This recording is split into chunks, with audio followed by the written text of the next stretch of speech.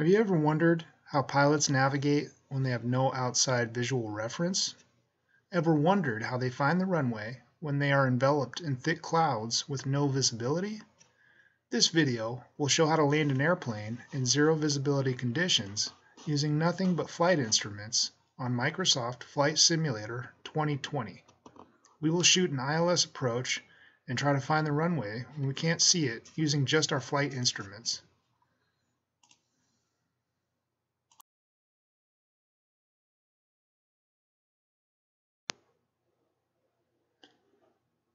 Okay guys, um, in this video we're going to be planning a little IFR flight from Hermiston Municipal Airport in Hermiston, Oregon up to Pasco, uh, Tri-Cities um, in southeastern Washington. Short little flight today, about uh, 31 minutes um, estimated time en route.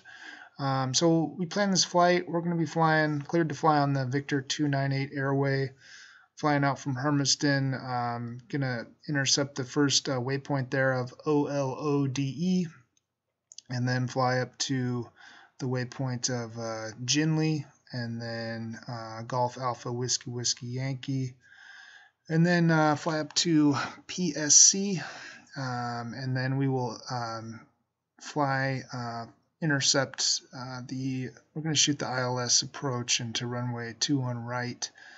Um, so we'll fly out to the initial fix at Jivdo and then, uh, yeah, uh, make the uh, procedure turn and then uh, make the make the final approach. Um, attempt to shoot the ILS approach on this one.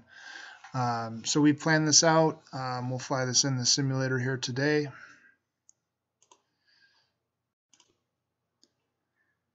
All right, so we'll jump into the simulator here. This is the Garmin G1000 electronic flight display. First thing we're going to do in the upper left hand corner is tune our uh, localizer frequency for the uh, ILS into runway 21 right, which is 108.7. And then uh, the second thing you see there is the um, the VOR um, for the uh, Pasco VOR frequency 113.75. Um, we'll tune this. We've loaded the flight plan uh, into the G1000. So you can see there at the bottom, we're clicking the, uh, the DME um, to the first waypoint of OLODE, which is about 11.6 nautical miles from uh, Hermiston. We're currently at Hermiston Municipal. Uh, I'm going to fly up a little short flight to uh, Pasco. And then what we'll do from here is we'll, um, you can see there, um, we're going to tune our barometric pressure. So the altimeter is 29.95. We'll uh, tune that in there. Um, and then you can see the flight plan right there. We'll zoom in. First waypoint is OLODE. And then uh, what you can see is we've got the whole flight plan loaded in there. So after OLODE, we'll be flying on that Victor 298 airway uh, to GINLE and then to uh, our next waypoint. And then we'll shoot the ILS into runway 21 right. Um, We've got the initial fix there, um, and then we've got our missed approach point if needed. Um, we've got the holding pattern set if we need to. Um, we can go ahead and click that flight display, this FPL there on the right side um, to exit. And then we'll tune the CDI there. You can toggle the CDI uh, between the GPS approach course um, and then the localizer and the VOR. So um, this yeah, this G1000 is just a great, um, great technology. Um, it's got a lot of great features for pilots. Um, so you can see here we're in low visibility. Um, it's, it's, it's about a half mile visibility here at Hermiston Municipal. Um, and so we're, we're going to uh, do our pre-flight checks and then get ready to depart here. You can see up the upper left-hand corner, um, the DME, it's about 11.6 nautical miles to that first uh, waypoint of OL ODE. And so, um, yeah, we're getting ready. We'll do our pre-flight checks here um, and then get ready to depart. Um, you can also see in the upper uh, upper part of the screen there in the Garmin G1000, um, this is uh, Kilo Hotel Romeo India is the airport identifier for Hermiston. And then we'll go um, to that first waypoint there on the uh, Victor 298 Airway to OLODE uh, on a heading of uh, 065. So we'll start our run up here, get ready to take off. Trying to stay centered there on the center line.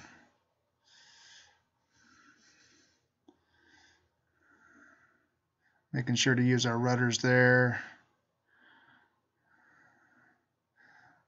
And then we will go ahead and lift off once we rotation speed for the Cessna 172 which what we're flying today is about 55 knots. So we go ahead and uh, depart here. And uh, we'll go ahead and uh, we're, we're, maintaining trying to maintain our best uh, climb speed here. And uh, we'll go ahead and depart. As you can see guys from the video I mean it's uh, we're in straight IMC conditions right when we took off. We're in the soup already um, so obviously really important to just, we're just flying on purely on our instruments today. So as you can see too, we're, we're um, in the in the main uh, CDI there. We're, uh, we're a little left of course right now, so we're going to um, get back on the uh, on our flight path, uh, flying towards that needle there. Uh, and you can see on the right side in the right flight display, um, that's our uh, um, GPS course there, which is displayed in magenta.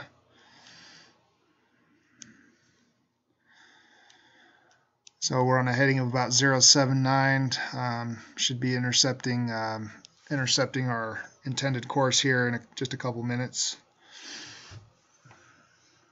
And you can see too up in the upper left hand corner, um, we're about you know 8.7 nautical miles from OLODE uh, and about 26 nautical miles from the uh, Pasco VOR. Again, maintaining a heading of about 078 right now.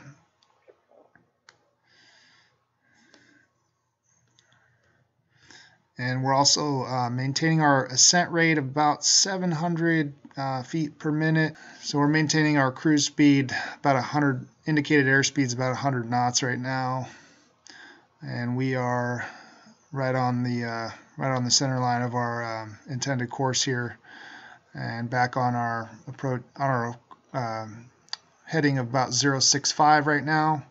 A little to the right of course now, so we're gonna you know fly back a little to the left again. Just small minor adjustments here um, to maintain our desired um, ground track. Getting closer now, about five nautical miles from OLODE, uh, climbing up to our altitude of about 4,000 feet. Currently at about uh, 3,600, uh, climbing through 3,600 for 4,000. And you can see that from the bottom there, it says DME. DME is distance measuring equipment. Um, it will tell you your um, distance from you know a desired uh, point like a VOR something like that and you can see in the right uh, the right flight display there on the right side um, you can see OLODE once we hit OLODE um, our first waypoint um, we're gonna make a, a, left turn there um, so we've uh, we've hit our altitude about 4,100 feet about 100 feet above our assigned altitude for the flight so we'll just maintain this right here, trying to maintain uh, level attitude. And then once we um, hit OLODE, we're going to make a, a left turn about two nautical miles there from uh, from the OLODE waypoint at Pasco, uh, at the Pasco Airport in Tri Cities. There, uh, the the flight visibility was about a half mile. So we're going to try to shoot this approach in almost near zero zero conditions. So stay tuned um, for later when we try to attempt to shoot this approach into you know near zero visibility, which is um, it's just above um, the minimum uh, visibility requirement for this approach is uh, 2,400 feet, which is just under you know half mile. So you can see our GPS approach course um, turns left there. So we'll go ahead and make a, a left turn here.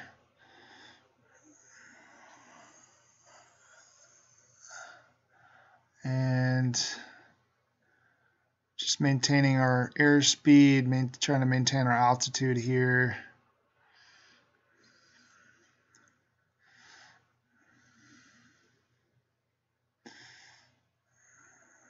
Yeah, just maintaining that our altitude, our target altitude, assigned altitude is about 4,000 feet. Uh, our altimeter is 29905 and haven't gotten a uh, different instructions on that, so we're good there. And then we'll go ahead and um, intercept our uh, course here. We're going to try to maintain a heading of about 335, flying up the Victor 298 airway here until we get to uh, to the Pasco uh, VOR, which is about, you can see on the upper left-hand corner of the screen, about 23.6 nautical miles. And then our next waypoint is uh, GINLE, Golf, India, November, Lima Echo, uh, about 8 nautical miles from that point. And then again, we would have this in our nav log, um, which is loaded in, in this, um, you know, it's loaded into the into the uh, G1000. We'll go ahead and zoom in here a little bit. Um, and again, you can see if we look at our FPL button there, so GINLE is about 7.5 nautical miles on a heading of 333. And then we'll uh, hit GAWWY, which is Golf Alpha Whiskey Whiskey Yankee, which is about 1.1 nautical miles after uh, GINLE. And then we've got the ILS uh, programmed into runway 21 right here.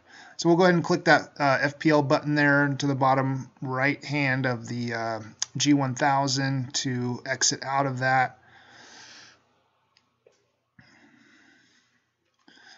So we're right, right about on course here, um, right about on our target path um, of headings about 333 and almost six nautical miles now from the uh, GINLE waypoint. You can see that in the upper left hand corner of the screen. You can also see it there at the bottom of the G1000. Um, it's about six nautical miles. And then we're about uh, 21 nautical miles from the uh, Pasco VOR. And then once we hit that Pasco, once we fly over the Pasco VOR, we'll uh, fly our outbound track um, and then make the turn to intercept the uh, localizer um, for the ILS into runway 21 right. We're a little below our altitude here. Uh, we're going to try to ascend a little bit, um, get above that uh, our minimum altitude of 4,000 feet. So we're going to climb about 500 feet per minute here to get back up um, to our altitude, um, our target altitude of 4,000 feet. Air, indicated airspeed is about 97 knots right now.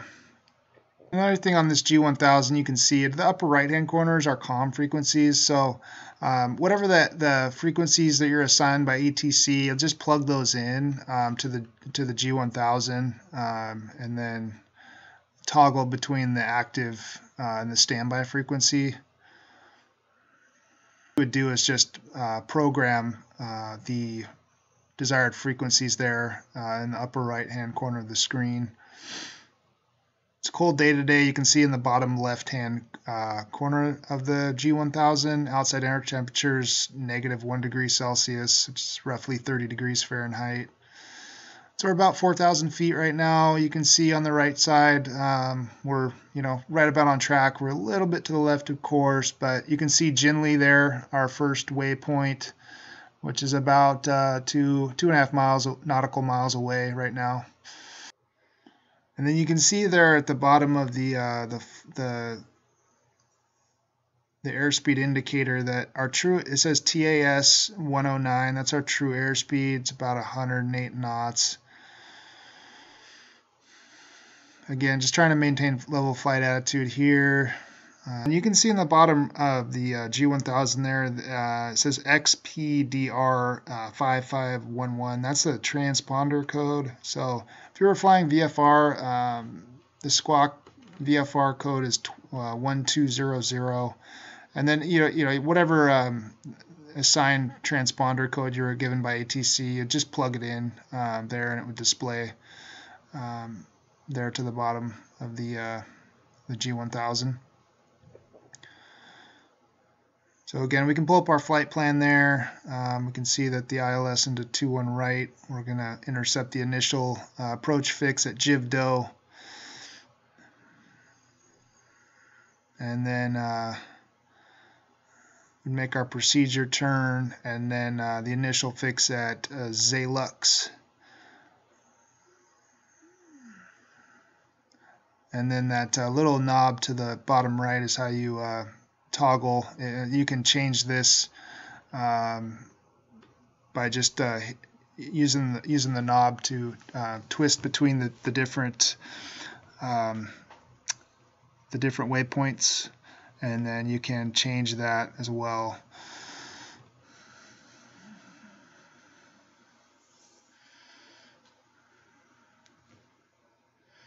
So you can see there, like if we wanted to remove a procedure turn, we could, you know, click that and then, you know, click OK or click cancel. In this case, we're not going to change that, so we'll click cancel. And then there's that ENT button, which is enter, which is how you select the desired waypoint on that. So we're back up to our um, minimum and route altitude, about 4,060 feet right now. So we're just um, just maintaining our desired track. About 10 nautical miles from uh, from the Pasco VOR.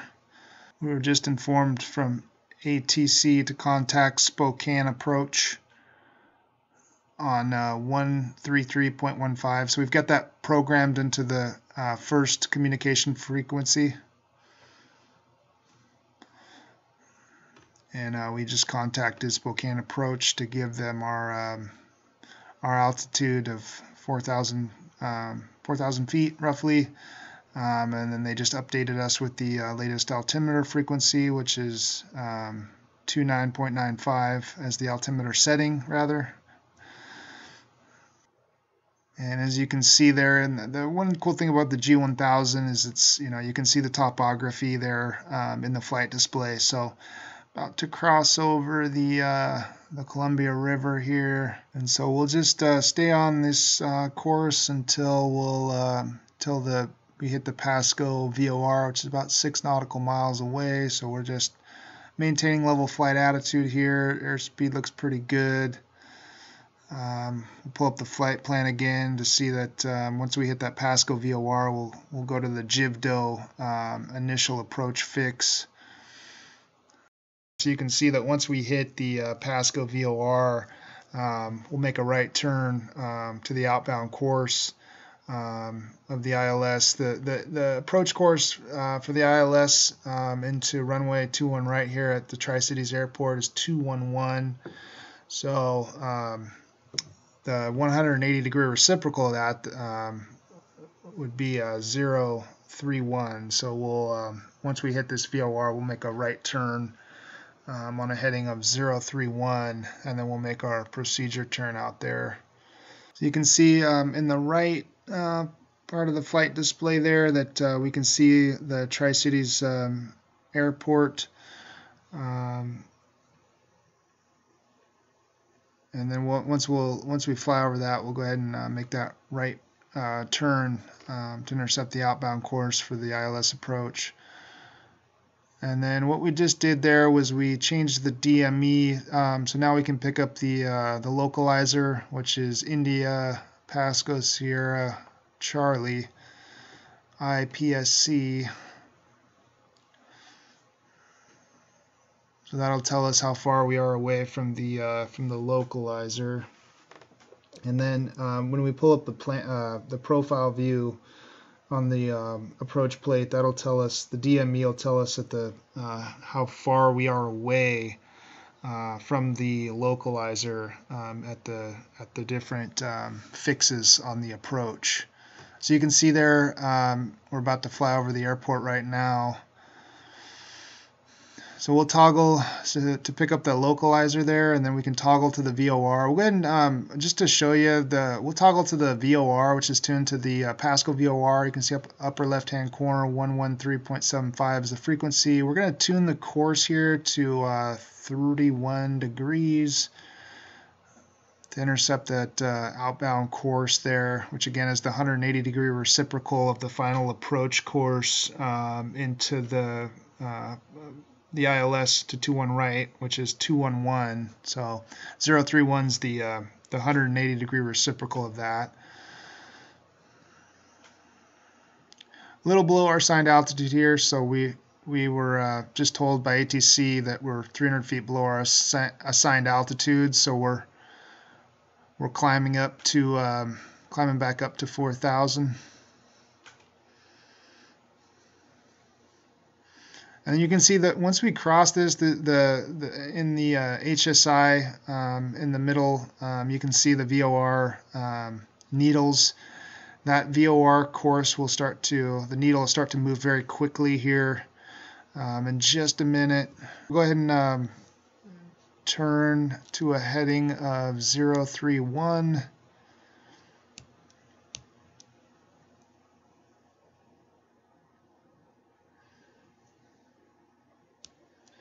Get on this turn, trying to make a smooth turn, maintaining altitude, airspeed.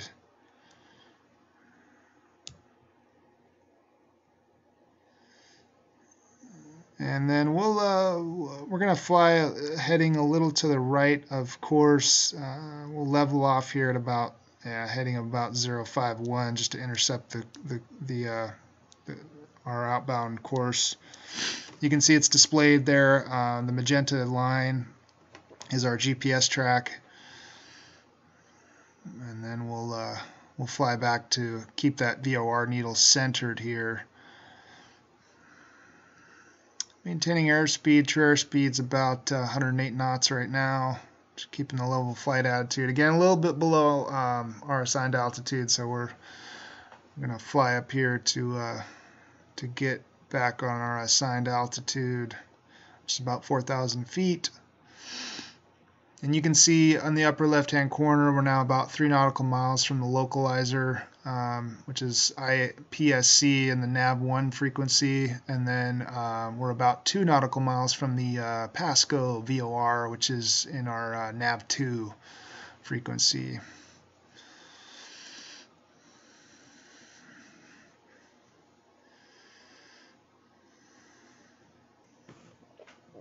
And then we'll pull up the approach plate here. You can see that um, our initial fix where we'll intercept that localizer is at Jivdo, which is uh, 7.4 nautical miles from the um, the localizer at uh, PSC.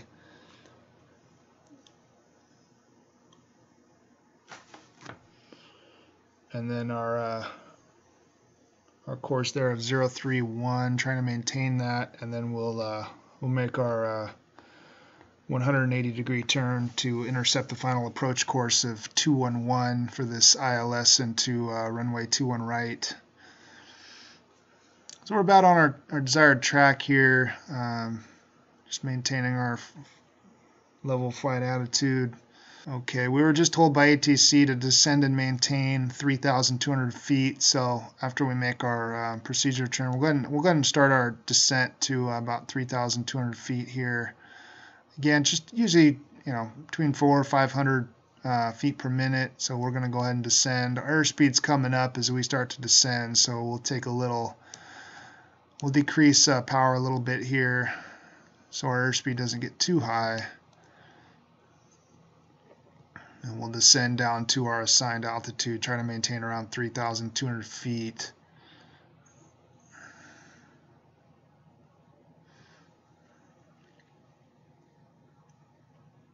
And then you can see there at the Jivdo initial approach fix, we'll make our uh, procedure turn.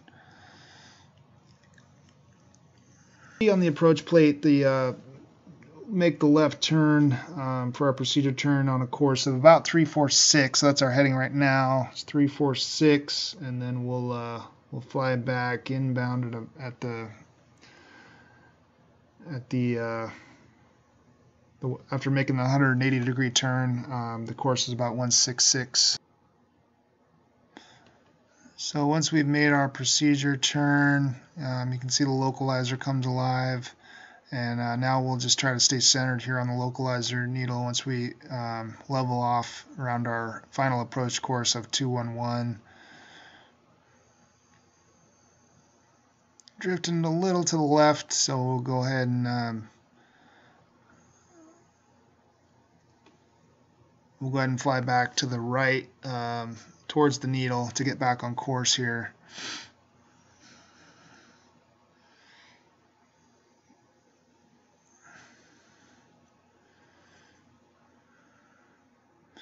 Can see the green diamond, the glide slope, uh, our, our, glide path. Um, green diamond's about centered, so we're about on the right uh, glide path here.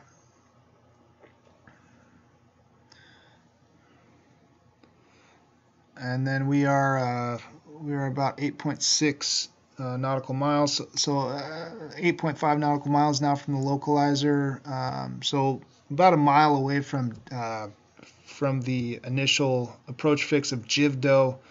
Our minimum altitude there is going to be 2,400 feet. So we're going to start our descent now. We're about uh, 2,840 feet right now. So we're going to um, go ahead and uh, start our descent down um, probably around 2,400, 2,500, kind of in that uh, range.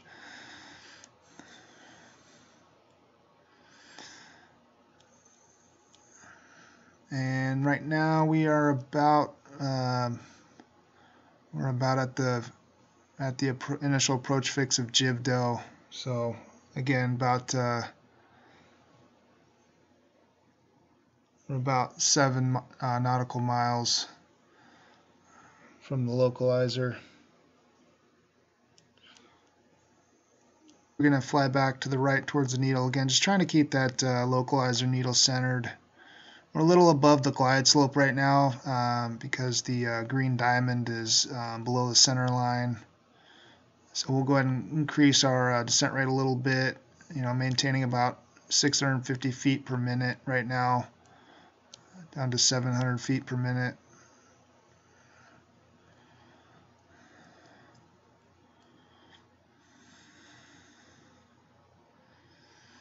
We're coming in a little fast right now. Um, so we're going to decrease our power just to keep, uh,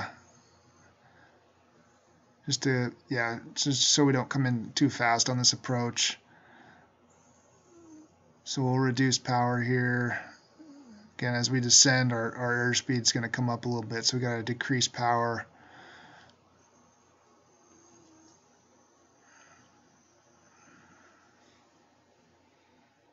The uh, initial fix of uh, GROG which is J-E-R-O-G, is about 3.9 nautical miles um, from the localizer. So we're uh, we're coming up on GROG here. Again, above the glide slope right now. Still can't see the runway. And our minimum uh, descent altitude for this approach is 603 feet which would give us our decision height, which is about 200 feet above the uh, the touchdown zone elevation, which in this case is 403 feet. So we're going to uh, make sure we don't descend below the minimum descent altitude of 603 feet until we can see the, the, the runway, until we have visual side of the runway. So we've, we've uh, decreased our airspeed here um, again, a little bit to the left, of course. We're going to fly back to the right towards the needle. See this? See how the localizer needle comes centered as we fly back towards the right. We're uh, decreased our airspeed to about 75 knots. We're a little above the glide path. We're at about 720 feet. Still can't quite see the runway. So we'll, if we can't see it, um, we'll have to go missed. But and then almost there you guys can't quite see it, but just got uh, visual uh, of the runway, so we can go ahead and descend down uh, right as we were about at the, uh, the minimum descent altitude. So um, we'll go ahead and descend. You guys can't quite see it. You'll see it here in just a minute. Um, we're at about 56 knots now, just before touchdown. And there you see the runway lights. Um, and runway two 21 right.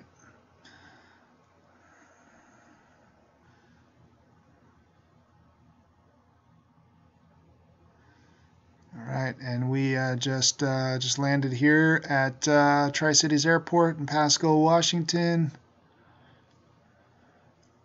and then we uh, we got our taxi instructions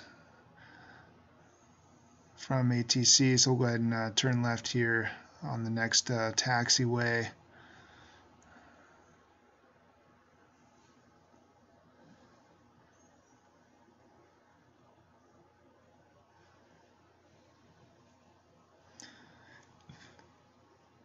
All right, and we uh, we'll go ahead and taxi uh, taxi back to the ramp here. Guys, thank you for watching the video. Please like the video and subscribe um, for more flight training and aviation related um, educational videos.